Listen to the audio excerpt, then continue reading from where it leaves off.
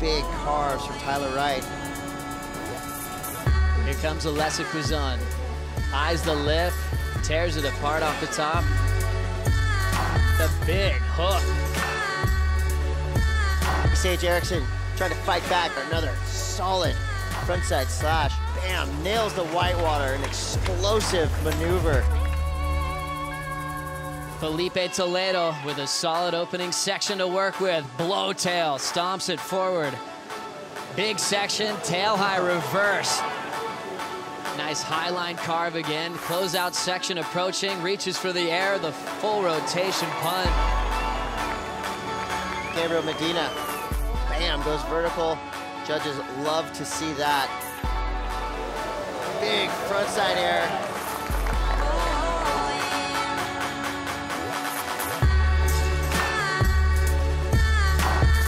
Up into the backside, just cracks. These are some amazing turns.